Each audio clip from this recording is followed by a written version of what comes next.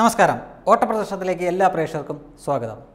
ഇന്ന് ഒരുപക്ഷെ നിങ്ങൾ കണ്ടു കാണുമല്ലോ പാർലമെന്റിൽ വലിയ പ്രതിഷേധം പാർലമെന്റിന്റെ വെളിയിൽ വലിയ പ്രതിഷേധം നടത്തി കേരളത്തിൽ നിന്നുള്ള യു ഡി എഫ് എം പിമാർ.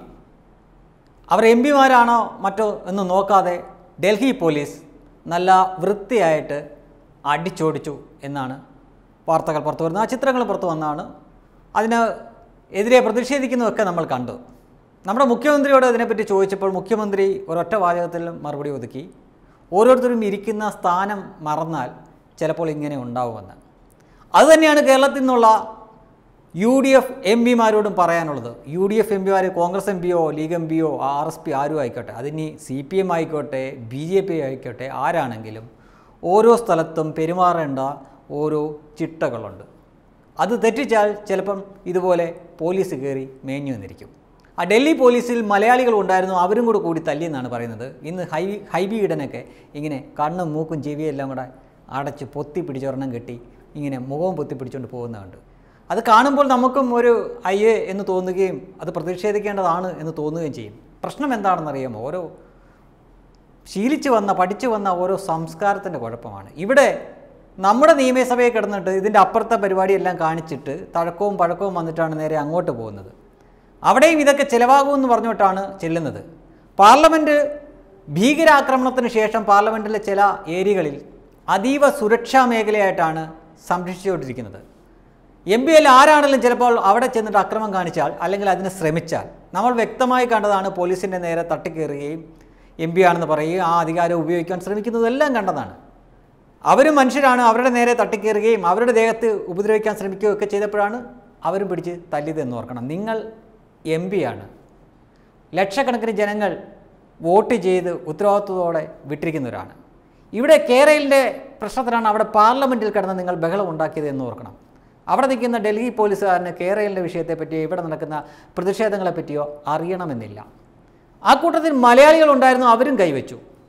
നമ്മുടെ കേരളത്തിൽ ഒരു ചൊല്ലുണ്ടല്ലോ അറിയാവുന്ന പോലീസ് രണ്ടെണ്ണം കൂടുതൽ തരുമെന്ന് ഒരുപക്ഷേ ഈ ടി വിയിലൂടെയും മറ്റുമൊക്കെ ഇവിടെയുള്ള എം പിമാരുടെ അഭ്യാസങ്ങളൊക്കെ ഒരുപാട് കണ്ടിട്ടുള്ളതിനാൽ അവരെ ഒരുപക്ഷെ ഇവരെ നല്ല ഒതുക്കത്തി കിട്ടിയ രണ്ടെണ്ണം കൊടുക്കണമെന്ന് നേരത്തെ നോട്ട് ചെയ്ത് വെച്ചിരുന്നിരിക്കും. അത് നല്ല ഒതുക്കത്തി കിട്ടിയപ്പോൾ രണ്ടെണ്ണം കിട്ടിയതായിരിക്കാനാണ് സാധ്യത. ഒഴിവാക്കാവുന്ന കാര്യമായിരുന്നു പലപ്പോഴും തീർച്ചയായിട്ടും. നമ്മുടെ കേരളത്തിൽ നിന്നുള്ള എം പിമാർ പല അവസരങ്ങളിലും അവിടെ കാണിക്കുന്ന അവരുടെ വഹിക്കുന്ന പദവിക്കനുസരിച്ചുള്ള പ്രകടനങ്ങളല്ല അവരവിടെ നടത്തുന്നത്. കാതലായിട്ടുള്ള ജനങ്ങൾക്ക് ആവശ്യമുള്ള കാര്യത്തിന് വേണ്ടിയിട്ട് അവർ പാർലമെന്റിൽ പ്രസംഗിക്കുന്നതോ അല്ലെങ്കിൽ പോരാടുന്നതോ കണ്ടിട്ടില്ല. മറ്റു പല കാര്യങ്ങൾക്ക് വേണ്ടിയിട്ടാണ് അവരിങ്ങനെ കയ്യാങ്കളി നടത്തുന്നത് കണ്ടിരിക്കുന്നത് ഇന്നും വേറെ എന്തൊക്കെ മാർഗമുണ്ട് പ്രതിഷേധിക്കാൻ?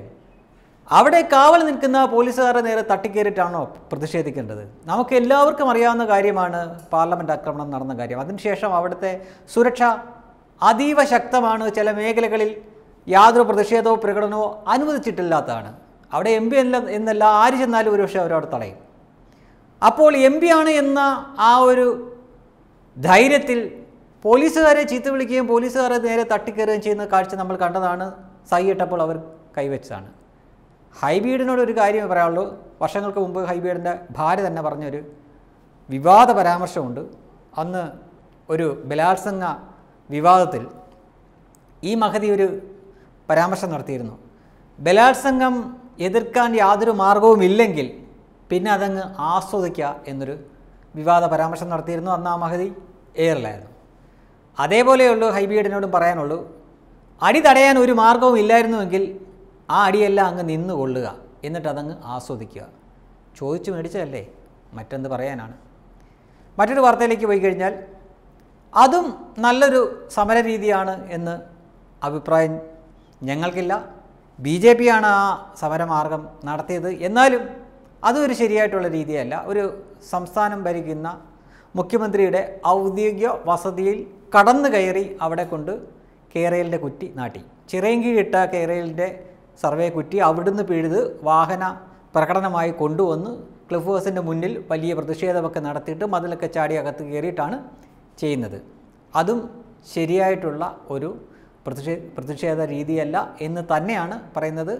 അത് ആവർത്തിച്ച് പറയുക തന്നെ ചെയ്യും. ഈ രണ്ട് രീതിയും പാർലമെന്റിന്റെ മുന്നിൽ കോൺഗ്രസ് എം പിമാർ നടത്തിയ രീതിയും ഇന്ന് ക്ലിഫ് ഹൗസിൽ ബി ജെ പി പ്രവർത്തകർ നടത്തിയ ആ രണ്ട് രീതിയും ഒഴിവാക്കേണ്ടതാണ്. അതിന് അങ്ങനെയല്ല പ്രതിഷേധം. മറ്റ് ജനങ്ങളെ ജനങ്ങളെ കൂടി പങ്കാളികളാക്കിക്കൊണ്ട് അക്രമത്തിന്റെ മാ മാർഗത്തിൽ അല്ലെങ്കിൽ അതിക്രമത്തിന്റെ അതിക്രമിച്ച് കടക്കുന്നതും അക്രമത്തിന്റെ ഗണത്തിൽ തന്നെ പെടുത്താവുന്നതാണ് അത്തരം രീതികളല്ലാതെ തീർച്ചയായിട്ടും മാറണം. ഇന്ത്യയിലെ തന്നെയല്ല കേരളത്തിലെയൊക്കെ പ്രതിഷേധ രീതികൾ മാറണം.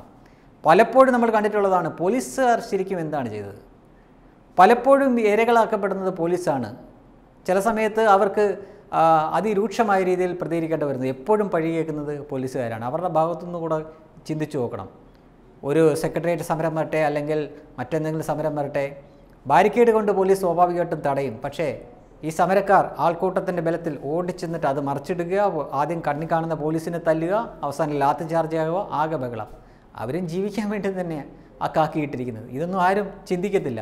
നമ്മുടെ സമര രീതികൾ തീർച്ചയായിട്ടും മാറേണ്ടിയിരിക്കുന്നു.